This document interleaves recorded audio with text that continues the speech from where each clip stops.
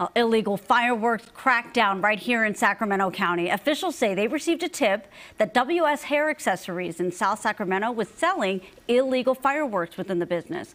After searching, Sacramento agencies confiscated an assortment of counterfeit fireworks, and booked them into evidence. Correction notices were also issued.